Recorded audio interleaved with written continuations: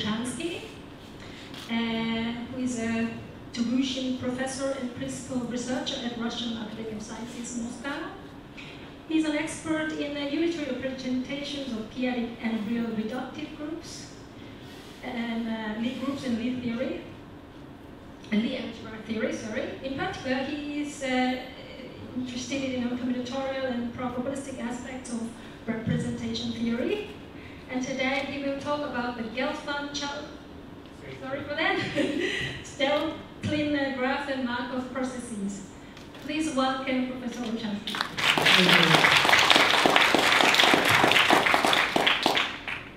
Thanks a lot, and thanks a lot for organizing my invitation. So my talk is about the asymptotic representation theory. The question is, what is this? The asymptotic representation theory deals with certain big groups, or maybe one can say some inductive limit groups. So if you we are given an infinite growing chain of groups, and G infinity is the union or simply inductive limit What do you want to do? We want to understand the behavior of representations of the prelimit group Gn as n goes to infinity. And we also want to understand what are representations of a limit group G infinity. And this leads to many problems and to many connections with other areas of mathematics, in particular with combinatorics and probability. The basic references are many joint papers by Alexei Borodin and is a survey, my contribution to the proceedings, which is available also from there. There is also my recent detailed paper, which will appear soon on the So what are fundamental examples of big groups? For me, these are the group S infinity, which is the union of finite symmetric groups, and the group U infinity, the infinite dimension unitary group, which appears as the union of compact unitary groups. These groups arise from the chains of natural invariance between the symmetric groups and between the unitary groups.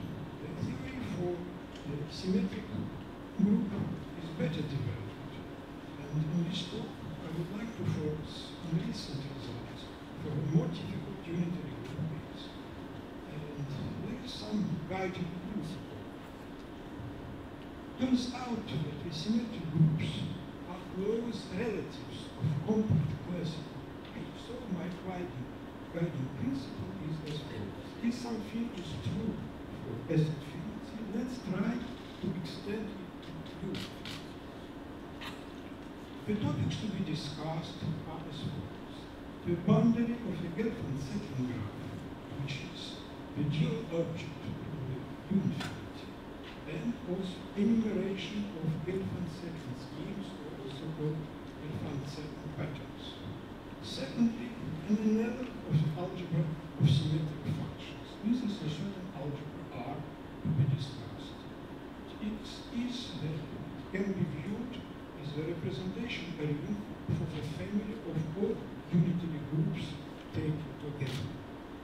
And third, generators of certain Markov processes and the dual objects of the infinite dimensional unitary group, which are certain differential operators acting in the algebra R. Now I, I have to define what are dual objects.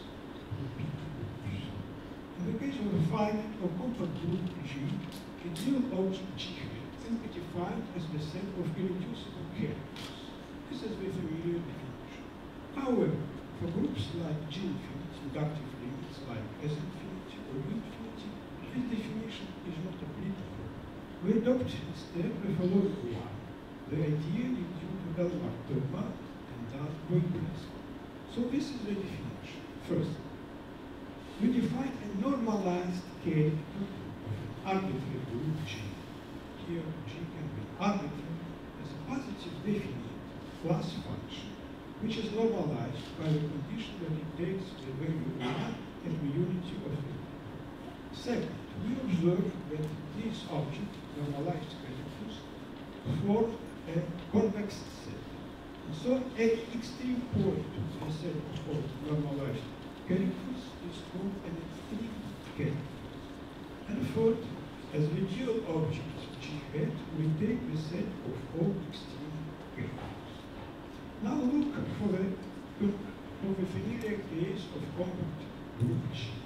Then the extreme characters are exactly the normalized irreducible characters. Notice this is an irreducible character divided by the dimension. So in this case, our definition is the same, essentially the same as the conventional one. Now, it is a miracle that for a big group, one can uh, one can explicitly uh, classify all the characters. This is a beautiful result due to Albert Legrave and to Dan Voiculescu. The result is as follows. The extreme characters of the group infinity are parameterized by points small omega ranging a certain convex region capital omega inside the countable direct product, product of half-lines. To each small omega, to each point of this big space, one assigns a certain meromorphic function in the plane. U is the argument of this function and small omega is the parameter. This function is meromorphic and it is regular, so it is well defined on the unit circle. And the corresponding extreme characters takes the following form. This is the product of U1, U2, and so on, where, where U1, U2, and so on are the eigenvalues of the unitary matrix from our group. Uh, let me remark that by the very definition of this group, a matrix from U infinity differs from the identity matrix only by a finite dimensional uh, matrix. So, uh, these eigenvalues are almost all equal to 1. And this function also equals 1 as u equals 1. So this product is, a, is actually a product. Thus, uh, this theorem says that the dual object can be defined explicitly. It can be identified with a certain infinite dimensional space. The idea of approximation is one of the key ideas of asymptotic representation theory and can be formulated in our context as follows. Every extreme character of an inductive inequality infinity can be approximated in a certain natural sense by a sequence of normalized irreducible characters of the pre-limit. And it turns out that this leads to a purely combinatorial interpretation of the dual object in terms of the Gelfand-Tsetlin So now I come to the Gelfand-Tsetlin graph. What is this? This is an infinite graded graph. Its vertex set is partitioned into levels. Every level is countable, and uh, uh, vertices are enumerated by natural so the levels are enumerated by natural numbers. And the vertices of a level number capital N are n-tuples of integers which are weakly decreased. These n-tuples are simply the highest weights of the unitary group and Hermann Weyl uh, called them signatures. The edges are pairs of two signatures of adjacent levels which interlace in the sense that this inequality Now, what is the combinatorial interpretation of infinity? It turns out our space, omega, the dual object, can be identified with the boundary of the Gelfand Tsetlin Here, the boundary can be understood as a set of regular escapes to infinity along the monotone path. I will try to explain this in more detail shortly. Using this interpretation, we developed in our paper in Berlin a new approach to the classification of extreme characters. We reduce it to a problem of asymptotic combinatorics related to enumeration of Gelfand settlements.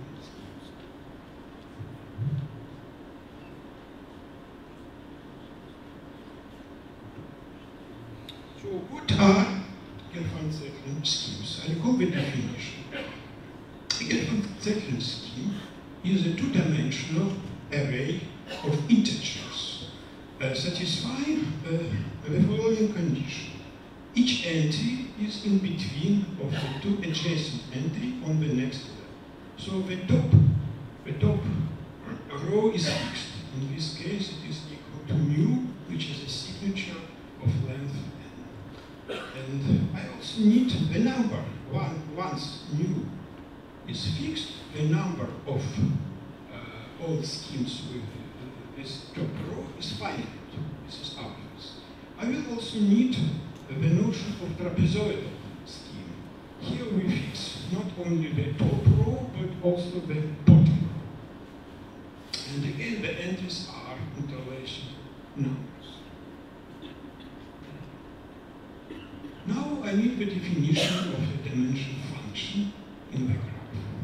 Given a signature mu of length n, its dimension mu is defined simply as the dimension of the corresponding irreducible representation. But in combinatorial terms, it can be viewed as the number of triangular schemes with top row mu. And this is the same as the number of integral points in a convex polytope, which is called the Gelfand Tsetlin polytope. This polytope is obtained if you keep only the interlacement condition, but remove the condition of um, integrality. And uh, this is also the same as the number of monotone paths in the graph, going from level 1 and ending at mu. Next, for two signature kappa and mu of lengths k and u respectively, we define the skew dimension, which is defined as follows. In the representation theoretic sense, this is the multiplicity of the irreducible character, which is labeled by kappa, uh, the multiplicity of this character in the restriction of the irreducible character labeled by mu being restricted to the group u of k, which is subgroup of the bigger group u of n. In combinatorial terms, this is the same as the number of trapezoidal schemes with top mu and bottom kappa. This is again the same the number of uh, integral points in the, some kind of truncated Gelfand poly, polytope, and, or the number of monotone paths in the Gelfand graph here. Sorry, this is a mistake. Please ignore the word level, going from kappa to mu. Out for our problem, we have to study the asymptotics of this quantity, which we call the relative dimension.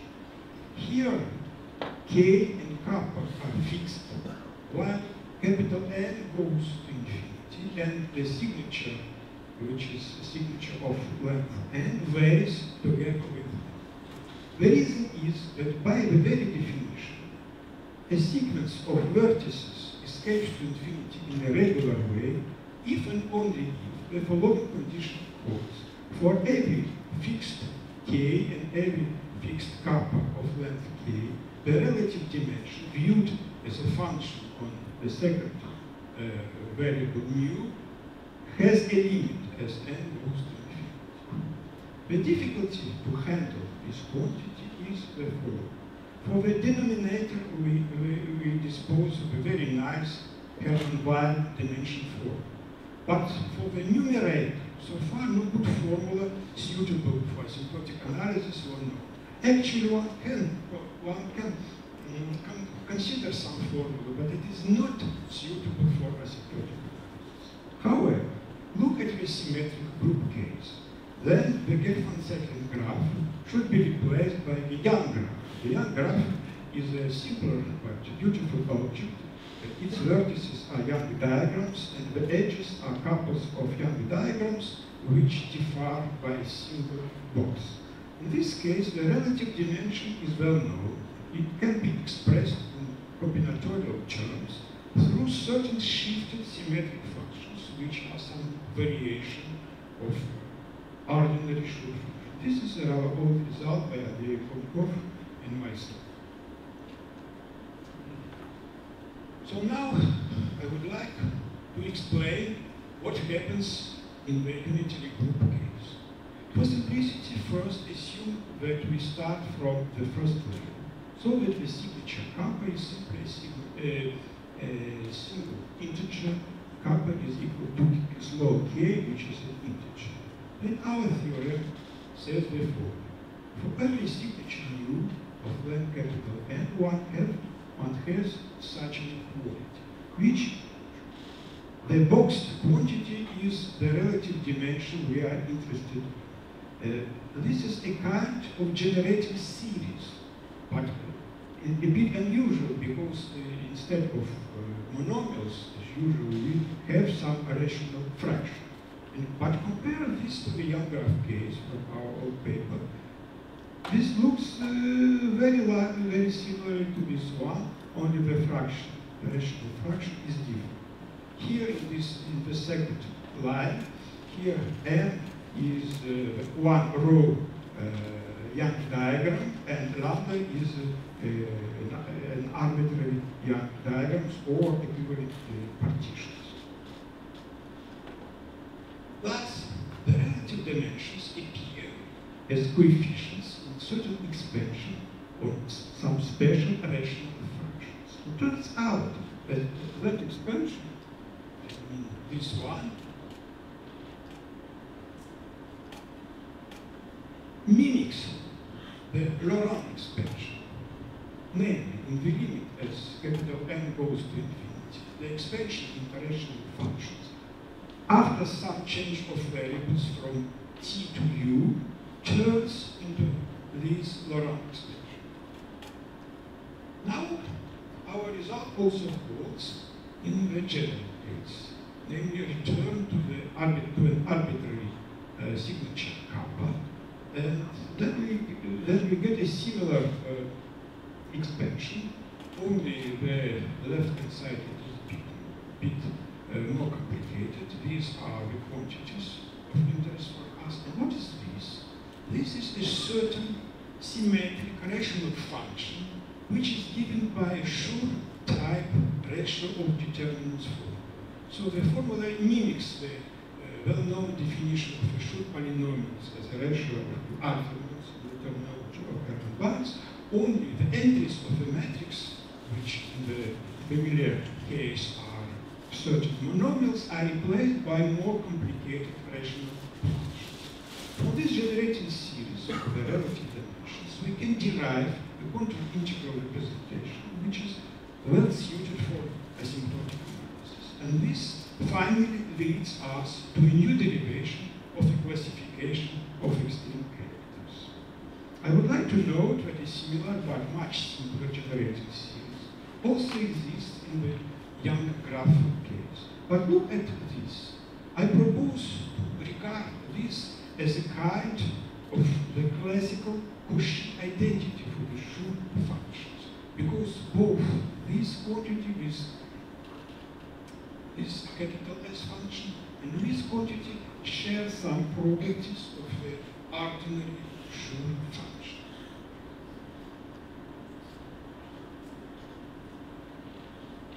Now I proceed to the second topic, the algebra R. Let me the classical computation of the symmetric group characters due to Frobenius relies on the characteristic map. On the left we have what can be called the representation theory of all symmetric groups taken together. So the basis here are the characters of arbitrary uh, symmetric groups, and multiplication is given by induction. On the right, we have the algebra of symmetric functions. The irreducible characters of symmetric groups are mapped, are uh, identified to the Schur symmetric functions. My aim is to try to construct an LM of such a map for unitary groups.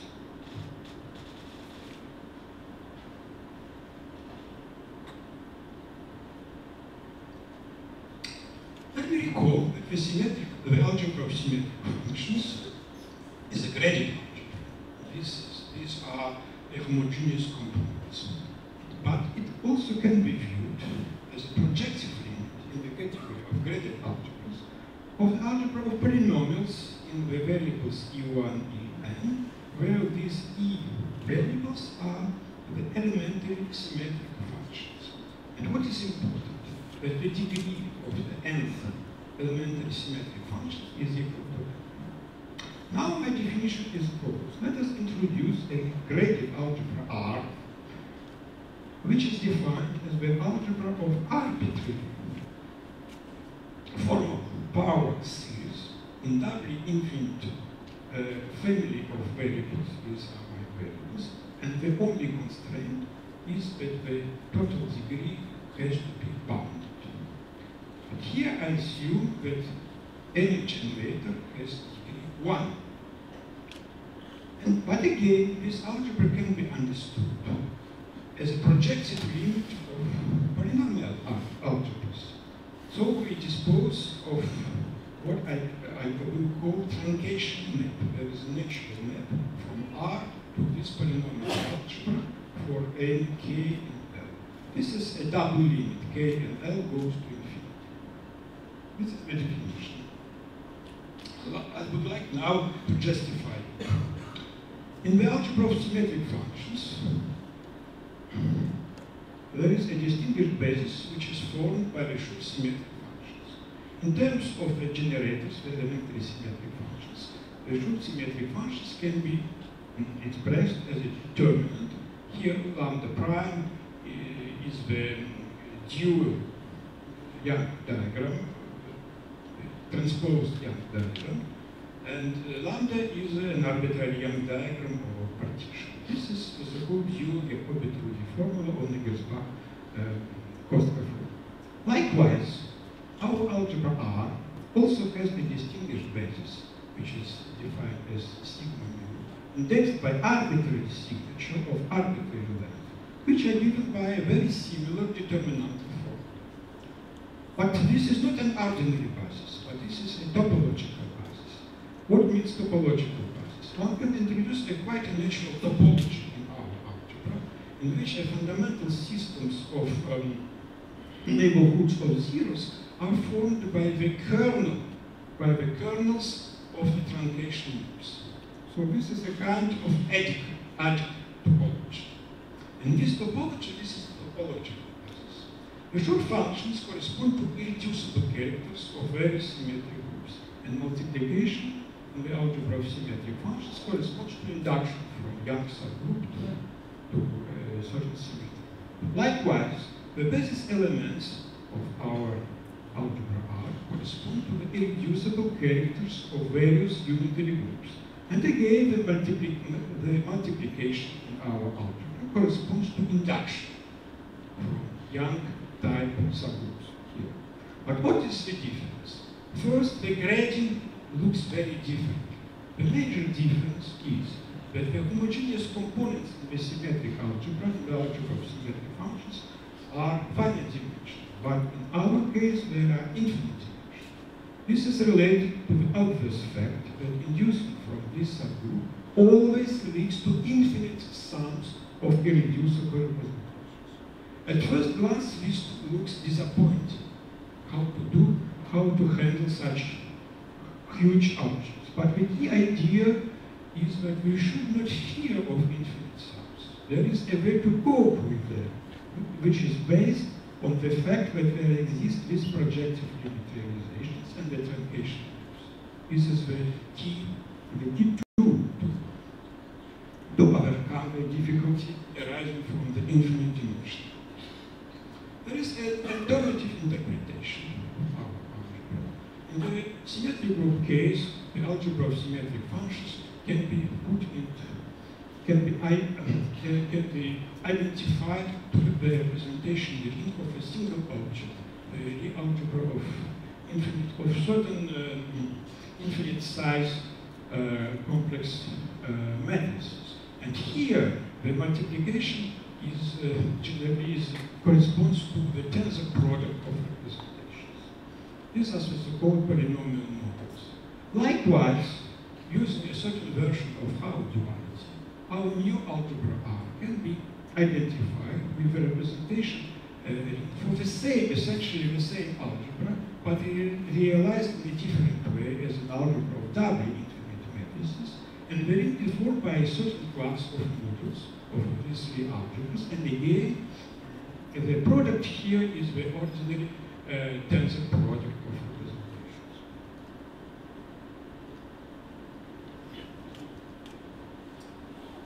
Now,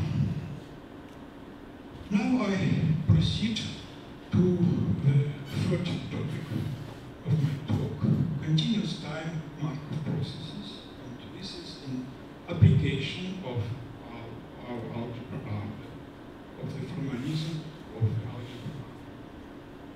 I need introduce the concept of continuous time process. Let me describe it in full. So imagine first, we have a continuous time smooth dynamical system on a manifold. This is a one parameter group, or maybe a semi group, of smooth self-maps. And such an object is uniquely determined by, it, by its generator. So, uh, the generator here is a vector field. Not, not that the vector field can be viewed as a first order differential operator. Now a Markov process, at least of diffusion type, is a stochastic analog of a dynamic, dynamical system. And here the generator is a second order elliptic differential operator. Of course, the key example is the Wiener process on the line, of which the same, the Brownian motion. And each generator is half the operator of the second derivative. One can also introduce a multi-dimensional analog of the Brownian motion on the Riemannian manifold. It is generated by the Laplace Beltrami operator. Now, now the question is what happens in infinite dimensions?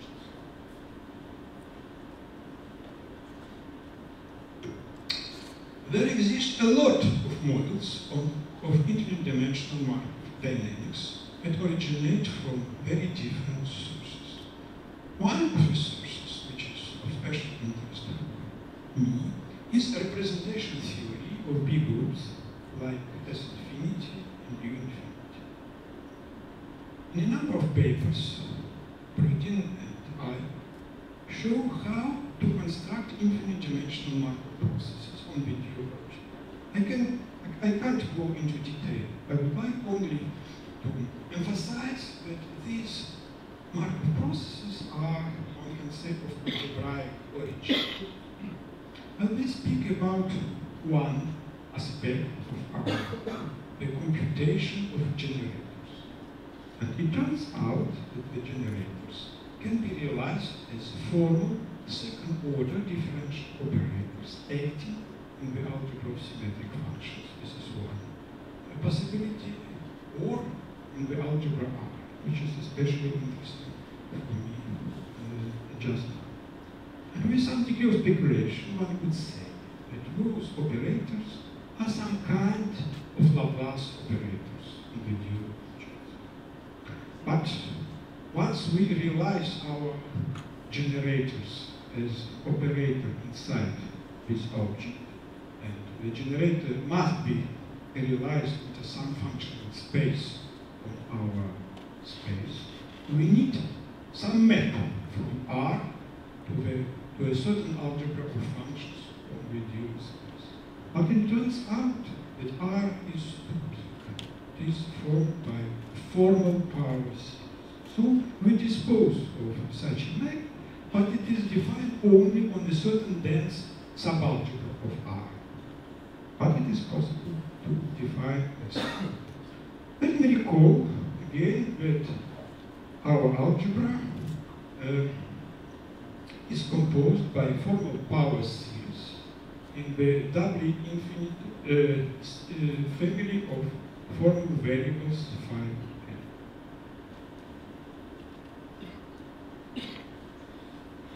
Now the result is as follows.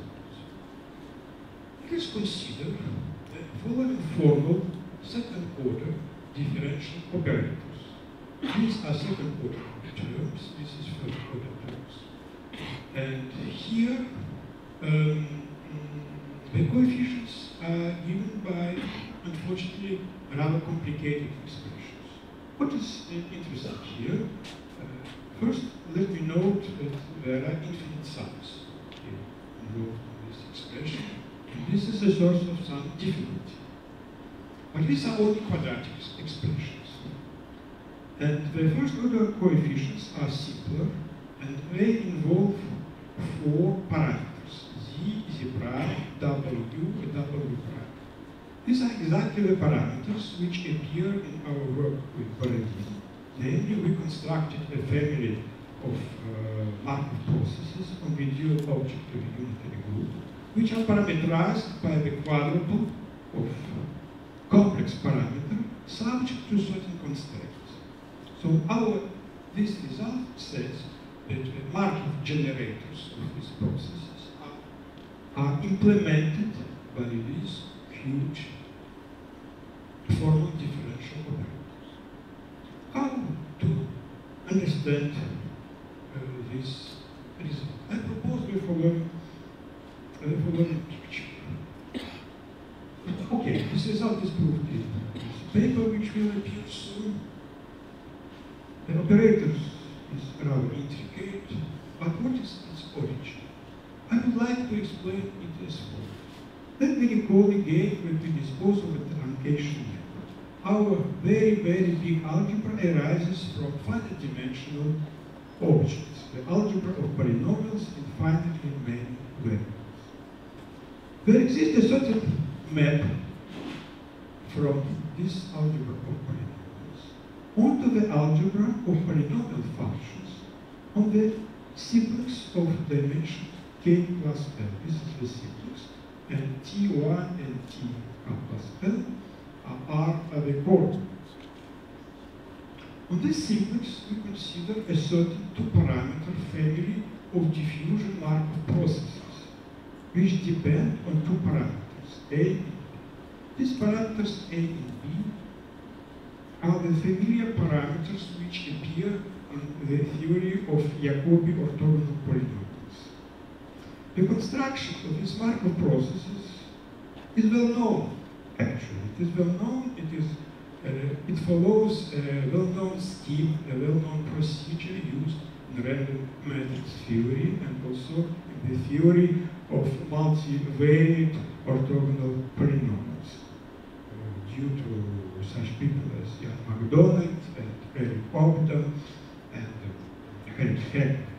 The processes are related to multivariate symmetry to certain uh, generalization of the classical Jacobian polynomials uh, which form a multivariate, which are multivariate and symmetric orthogonal Jacobian polynomials on the simplex. So there is some weight function on the simplex which generalize the earlier beta function, which is the density for, uh, which is the density function uh, for the Jacobian polynomials. There is some natural analog, some multivariate analog. So this, I would like, I don't want to present this construction in detail, but I would like to emphasize that this is well known. The generator of the processes on the synthesis are certain symmetric second order partial differential operators in the T variables. These operators are a multivariate generalization of the classical hypergeometric operators which attach to the classical Jacobi orthogonal. The next step is that we lift these operators from the functional algebra of, the simplex to the algebra R k minus L, our uh, truncated version of a truncated version of our algebra and we rewrite them in terms of our basic variables. This is possible because this is just is just an algebra of polynomials and these variables. And these variables, they are sort of symmetric polynomials in the t variables. So initially we have symmetric polynomials, and in the end we get arbitrary polynomials in these variables. Finally, our parameters z, z prime, w and w prime arise in the following way.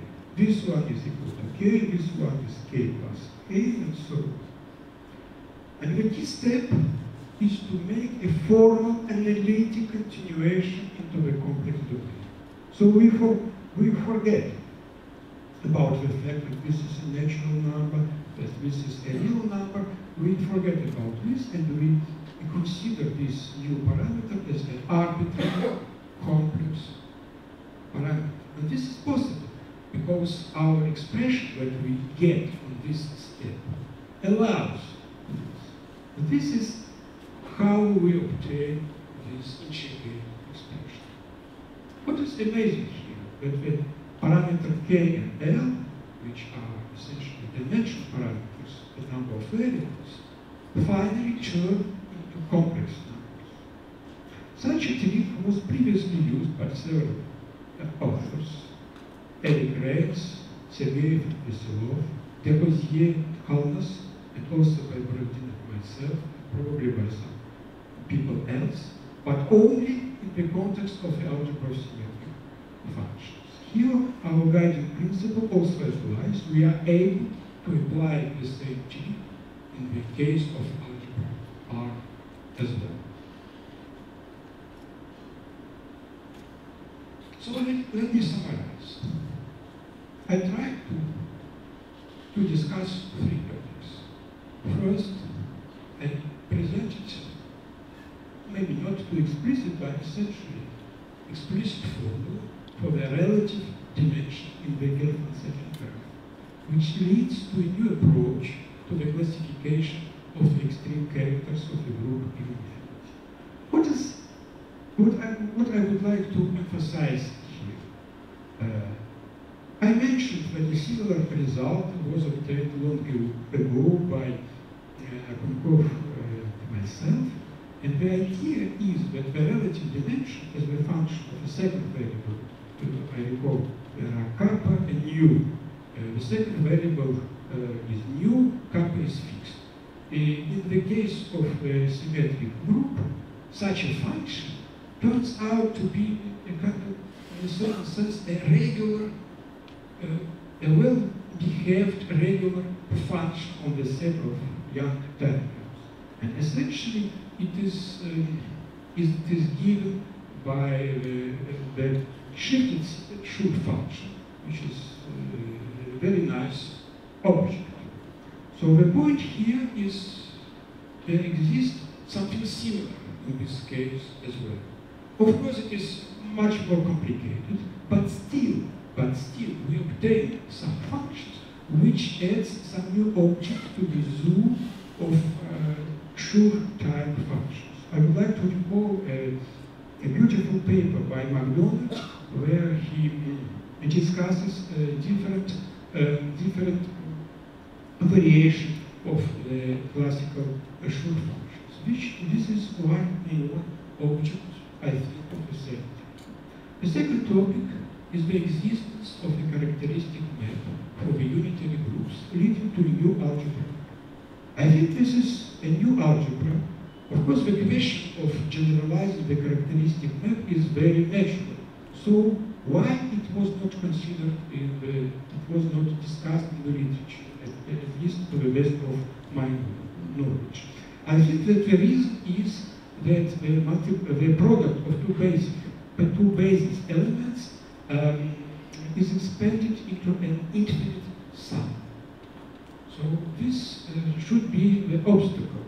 But I think that this obstacle that I tried to demonstrate it is rather of a psychological nature. One can work with this algebra and mainly because we dispose of the uh, polynomial of the truncation maps by approximation uh, by uh, algebra of ordinary polynomials. The third topic is an explicit description of a generator of certain Markov processes or on-the-dual object, which is obtained in terms of the algebra R. And the point, the point I would like to emphasize uh, here that this very huge, this is a huge object with some strange, maybe strange Markov processes, but these Markov processes can be obtained from familiar finite dimensional uh, diffusion Markov processes attached to orthogonal polynomials. In random matrix theory, the passage from finite dimensions to infinite dimension is usually done using some limit transition procedure. Here again, we can obtain this process by such kind of approximation. But on the other hand, our Markov processes can be obtained from finite dimensional Markov processes by unusual procedure, i.e. the formal analytic extrapolation. So I would like to emphasize this. Of course, we cannot um, extrapolate the processes themselves, but we can extrapolate the generators. And this is, of course, because our processes are of algebraic origin. We, we can use the whole machinery related to uh, the combinatorics of algebra. Finally, uh, a few final remarks. Because the algebra of symmetric functions is a fundamental object of algebraic combinatorics, which appears in many, many, many situations, it is my hope that this new algebra R also will find some other application, not only to these very special problems.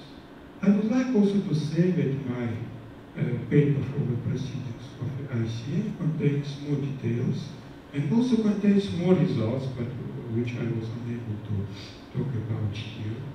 And the final remark is about uh, uh, the new constructions which, which are invented by Borodin. He spoke about them in his talk today, and I also recommend to look at his ICM paper. His constructions go in somewhat different direction, but they are also, but uh, they also have their source in representation theory of big groups. So, uh, my last remark is I tried to show that there are some connections between the representation theory of big groups, combinatorics, and some topics probability theory. And uh, these connections uh, seems to be invisible in the context of the conventional representation theory, but they emerge in the context of the representation theory of big groups. That's all. Thank you.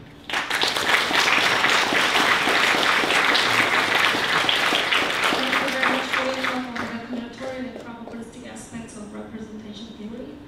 Uh, are there questions or comments? not, let thank the speaker again.